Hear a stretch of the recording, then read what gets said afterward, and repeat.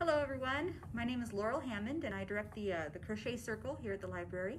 Um, we are so sad that we can't have our meetings in person this month, but um, it's all about being safe, making sure that we don't spread any coronavirus around. Um, so in the meantime, we're gonna have a little uh, meeting here on Facebook Live. so I've been talking to the, the members of the crochet group on text and we've been uh, talking about uh, doing newborn baby hats and booties um, to donate to a hospital for Christmas. And so I got a couple of patterns. I have a pattern for a, a baby cap and little baby booties. And that's what I've been working on lately. So I was gonna show you, this is a, a half double crochet stitch. I started over here and I've just been going back and forth, up and down, half double crochet, except for down here at the end where there's three little single crochets. And so that's what kind of make, gives it this nice, uh, nice shape here. When it's done, I'll have to go up the side and then, ooh, goodness, and then uh, close it up here at the top and that'll create the hat. But what we're gonna do right now is actually the baby booties. These are for premature babies, although you can make them in any size. Just change the size of your hook that you're working with and the number of stitches. But it makes a little baby booty about that big, little teeny tiny thing. um, and this is pretty easy. It's just single crochet and a, and a bit of double crochet up on the top. Um, so I'm gonna go ahead and get started. Let me get my yarn here.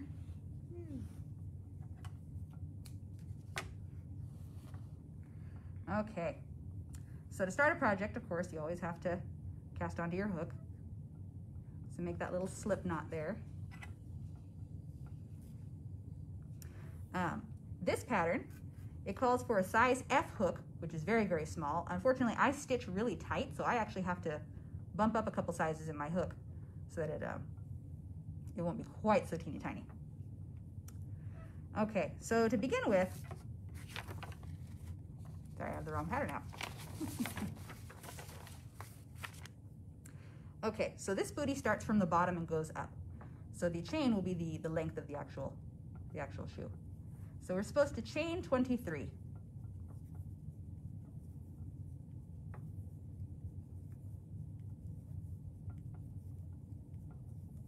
It's 10.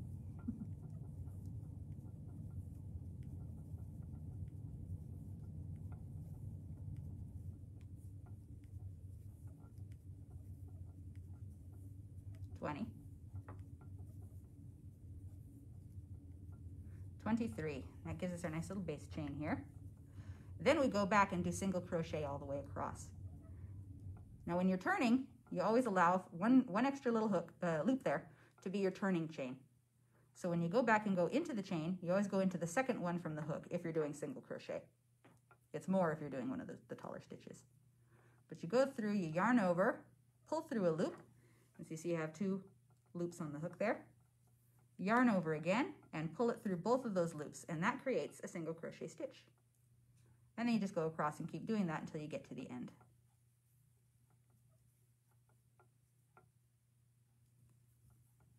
I'm kind of fumbly with my yarn. I don't hold it correctly, but it works.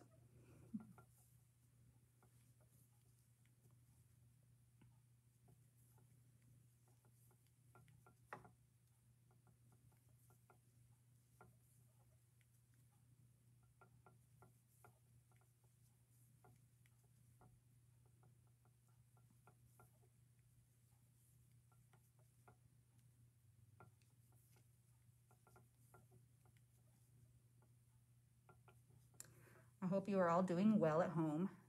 Um, my family's been having a lot of fun during all this quarantine.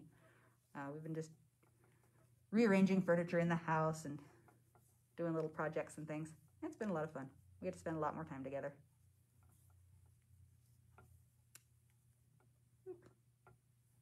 But we would also love to see our relatives who live far away. So hopefully we will get to see them again soon. In the meantime, it's wearing masks and washing hands. Doing everything we can to keep ourselves and everybody else safe.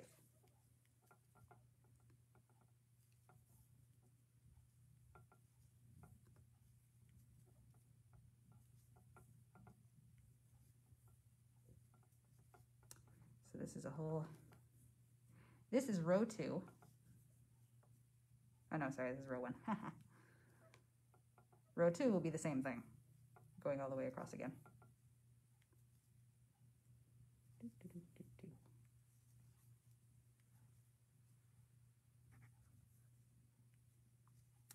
Okay, so I got to the end there, so that's my row one of single crochet stitches. It's still kind of curly, but it flattens out as you get as you add on more rows. So in order to turn, I have to make that one little extra turning chain. And then I go around and you can see in the top of the stitch, I don't know how well that'll show up in the picture, but um, the top of the stitch makes kind of a little teardrop shape. It makes these two little loops here. So when you're going in, you want to push your, your hook through underneath both of those loops. And that's how you go into this into the single crochet stitch from the row previous. And then you just do the same thing. Now there's some effects you can get um, by using only one or, or the other of those loops. Um, it creates a ribbing effect, which actually we use in the hat. Let me show you that real quick. The hat over here, I was going back and forth in rows, but you only use the back loop, the loop that's, that's on the, the opposite side from you. And so it makes this nice little ribbing effect that's nice and stretchy. So for the hat, you use that. For the booties, we're just doing straight, both, uh, both loops.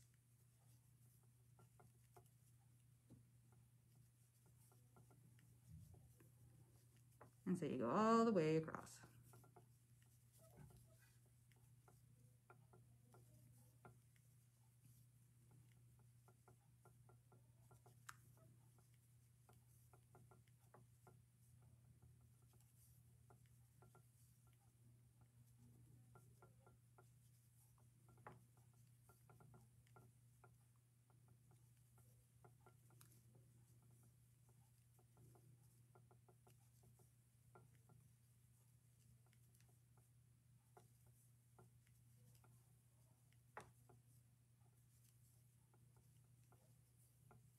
Don't ever copy the way I hold this yarn.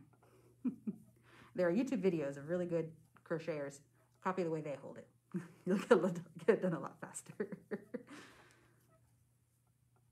but this is just how I do it. I have not yet taken the time to correct my, my form. this yarn is just acrylic um, baby yarn. I got it at Walmart, but you can get, uh, uh, there's lots of different varieties of baby soft yarns. Um, Acrylic is good because it's easy to wash. It washes really well. It doesn't require a lot of special treatment. Um, when you want to make, especially for little premature babies who are going to be in the hospital for a bit, it's, it's good to have something nice and soft and easy to clean. Oops. I was talking and I goofed up my stitch there, but I fixed it. Okay, so that was row two. There's three more rows of just back and forth. Rows three, four, and five. We continue that way. Um, of course, we have all the holidays to look forward to this coming up in November and December. Um,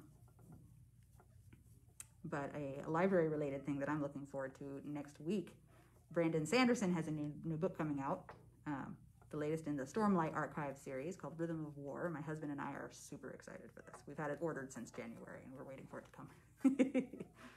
um, if you're not familiar with his work, oh my gosh, get familiar with it. It's really good.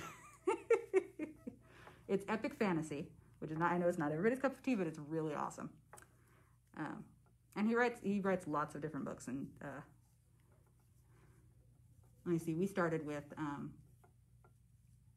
Elantris and then Mistborn, of course, and then that just ballooned from there. So um, can't really pick a favorite. Oh my gosh, that would be really hard. I can never pick a favorite book. When somebody asks you what your favorite book is, I immediately forget every book I ever read. it's really hard to pick, but um, there's lots of books that I like, and Brandon Sanderson's books are all always a really good bet. Um, yeah, I was, uh, became familiar with his work and uh, I used to work at the Provo Library a number of years ago. And one time they uh, allowed all of us who worked there, as, as, the clerks and pages and everything, to go to the Utah Library Association conference, which they were holding in Provo that year. And so we went, and we most of us we'd never been to one of these things before, so we had no idea what we were doing. So we were just looking around and checking out the different panels and things that were going on. And I looked at the schedule, and I saw a panel entitled "Alcatraz versus the Evil Librarians." And I thought that sounds hilarious. I need to find out what that is. and it was Brandon Sanderson talking about his latest book which I had never heard of him before, but was very intrigued and uh, tried out Alcatraz versus the Evil Librarians, which is hilarious. Um, but then decided to check out his uh, um, adult fiction and uh, got into Elantris and then Mistborn and then from then on. And we've been big fans ever since. Um, so yeah, that was a lot of fun. One of my favorite authors. I also like uh, Jonathan Stroud, who does a series called Lockwood and Company, which is hilarious and awesome and scary. that one's more young adult, uh, but it's really good. My daughter just finished reading them and she really enjoyed them. And uh, whatever he has coming out, I, th- I think he has some sort of a historical fiction series coming out sometime next year, maybe. He's working on it right now. Um, I can't remember what it's called. Something about a highwayman. Sounded really good. So we'll see. And do, do, do, do. I am on row four right now, if you're keeping track. I have to go one more over, and then we start adding on the uh, the ankle part of the of this little baby booty. Which that'll be a different stitch, so I'll show you how that works when we get there.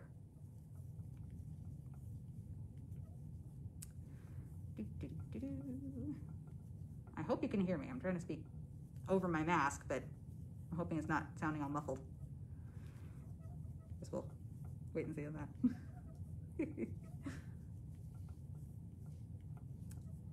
um, when coronavirus stops ruling our lives and we're able to go back to Crochet Circle, Crochet Circle meets twice a month. It, it would usually be the uh, second Tuesday, no, second Tuesday and fourth Wednesday of each month. Um, because of the holidays, we bumped them up a little bit last month, and uh, and then of course when with Thanksgiving and Christmas, we were only going to have one meeting a month anyway. But then our schedule just got derailed, so um, hopefully we'll be able to meet in, in December, and if not, then then we'll pick up again in January, if all goes well. so wear your masks. this is my row five. Almost there at the end. When I get to the end of this, I will not do a turning chain, and you will see why in just a second.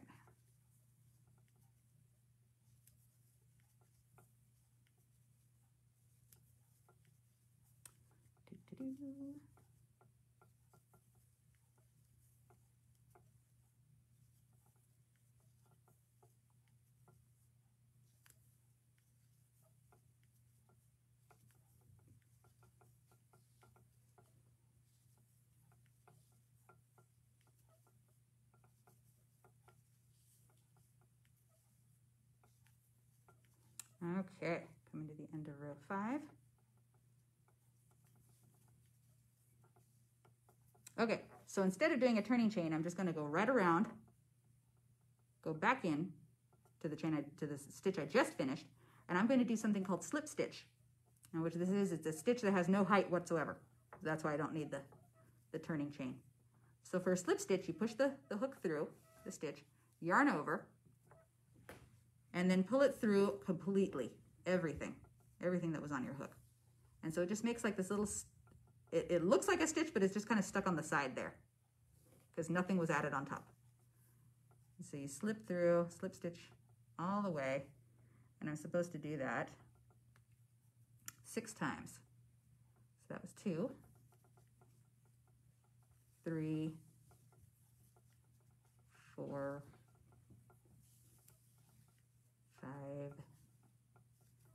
and six. And you'll see why in just a second. See now I'm here a little farther into the, the booty. And I'll show you on this booty over here that I have that's not quite done. So you go back here and that's where you start adding on the, the ankle part that's gonna be taller. So now what I need is I need to get up to the height that I need for, for my double crochets.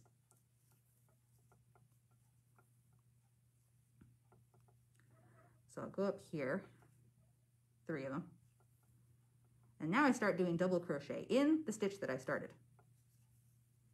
So double crochet, what you do is you yarn over first and then push the hook through. Then when you yarn over and pull up, it looks like you have three little loops on your, on your hook. Yarn over again, pull through two, yarn over again, pull through two. And that is a double crochet. And you'll do that, oops, missed my loops there, there we go.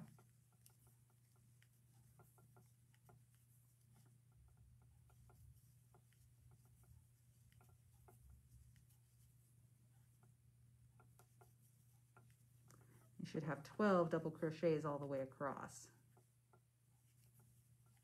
Not to double check. it's very important to always count your stitches.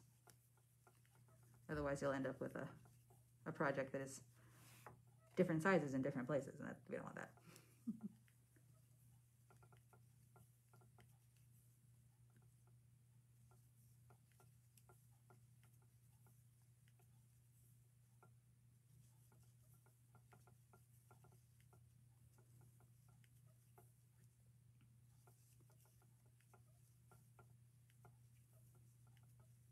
basically you can count back from the end there and you should have five single crochet stitches left undone at the end there. So I just have to make two more here and that'll do it.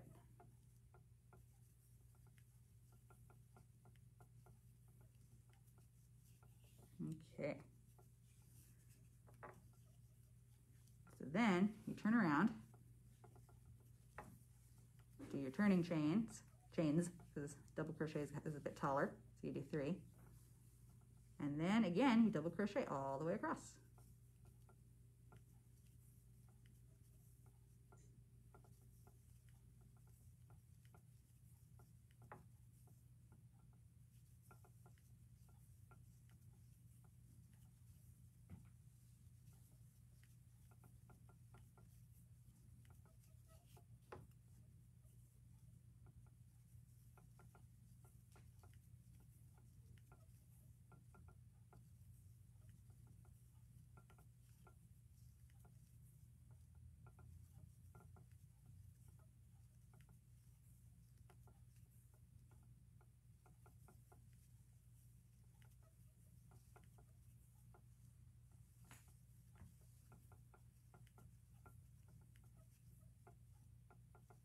Almost at the end there.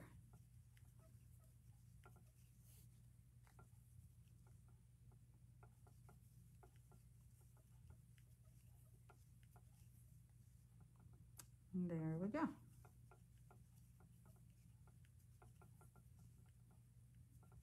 If you want to make it any taller, you can just go back and repeat the row again. But I'm going to go ahead and end it there so we can see how the, the little booty comes together.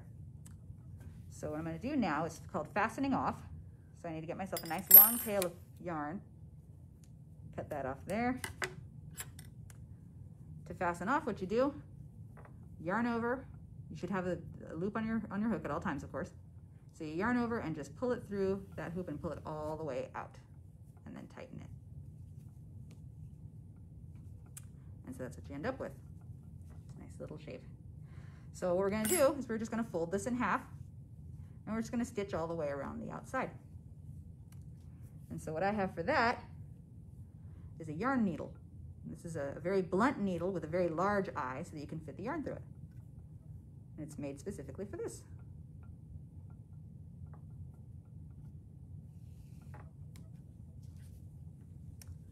So what I'll do is just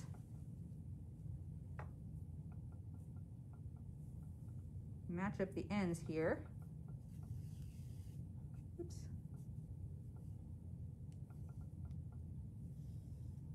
It's just whip stitch all the way around. Just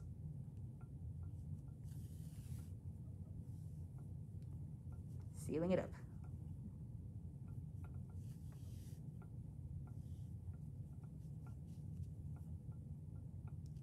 Try and keep everything lined up so that the shape is right. Luckily, since it's crochet, you have all these nice little holes here just perfectly lined up for you to, to stitch it all together. Oops. Ooh, there we go. Pulling it too fast sometimes will bunch up the yarn.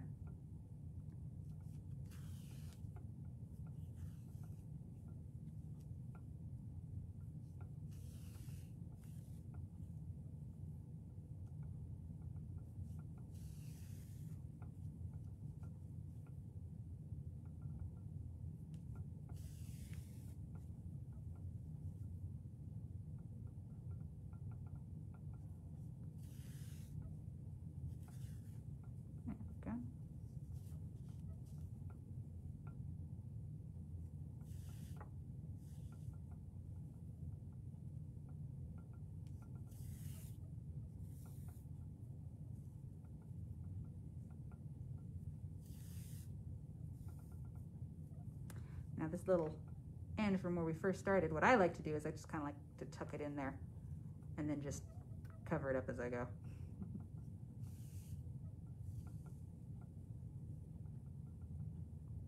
Weave it into the bottom as I sew it together. And it just kind of disappears, which is nice.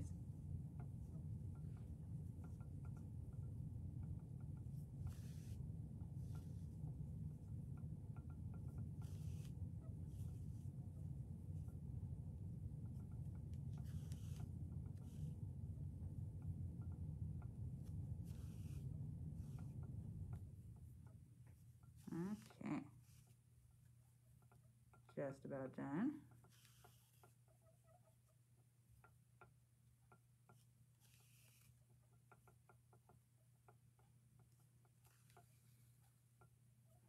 And there we go. So now for the end, what I will do, so that this doesn't unravel on me, I'm going to do what's called weaving in the end. So I'm to do is I'm just going to kind of look at these stitches here and just kind of tuck it through the existing stitches. Oops, pulled it too fast again. Let it get all tangled up on itself. I don't need it to be quite so long, so I think what I'm going to do is cut off some of this extra.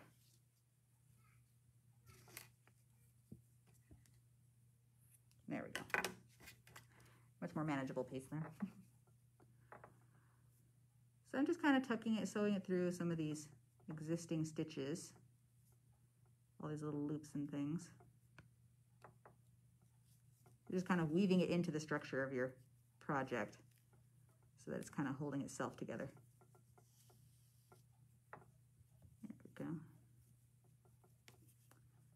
So I'm kind of circling around and going through some of these stitches.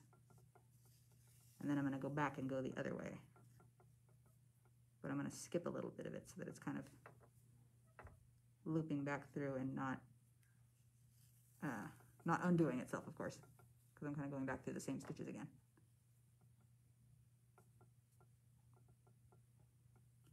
Let's see here. But once I've done that through a couple of stitches, that'll be enough to hold it in place. So then I just go in and cut as close as I can and then it just kind of disappears. And there's a completed little baby booty. It's pretty easy. Um, took us like maybe what, 20, 25 minutes to make, not very long.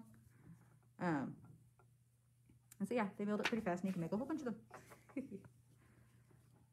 so I had this one over here that I hadn't sealed up yet, so I'm gonna go ahead and do that.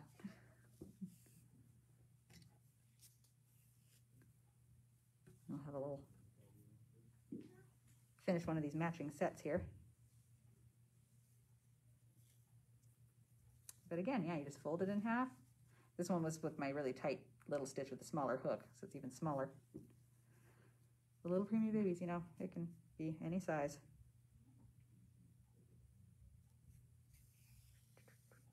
And there we go.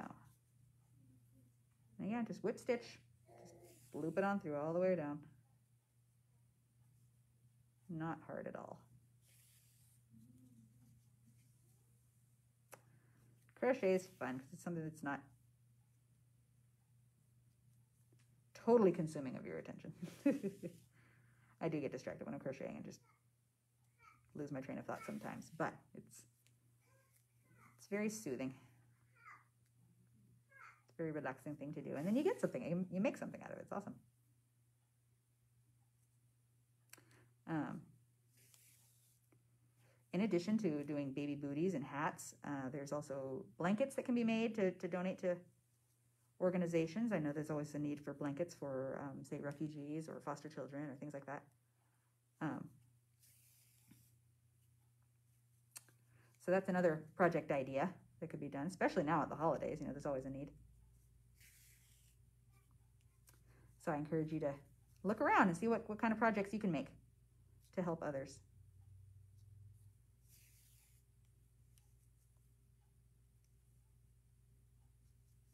Fun. It's awesome that this uh, very fun little fun little hobby can be used to to help other people in need.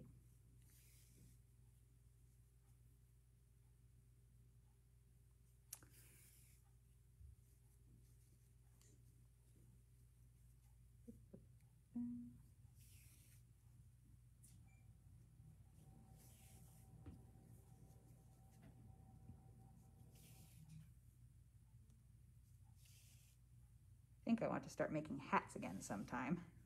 I've made some goofy hats for my children over the years. I think I'm gonna make myself a strange hat. That'll be fun. Don't know what to do yet. I'll have to look around and see what kind of patterns I can find.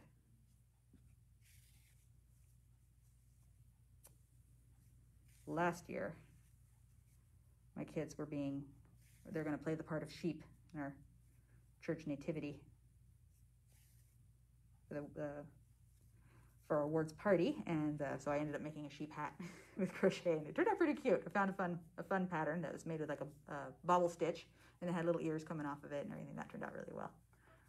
Um, but there's all kinds of things you can do if you if you can imagine it. Somebody's probably tried to make it and has a pattern for it, and or you can just make up a pattern yourself.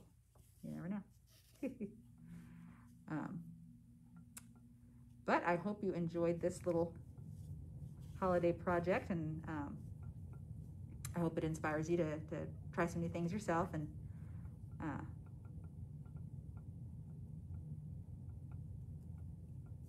there we go. I hope that our live in-person meetings can start up again pretty soon, but if not, then we'll, we'll be here. Um, thank you very much for watching and have a wonderful holiday.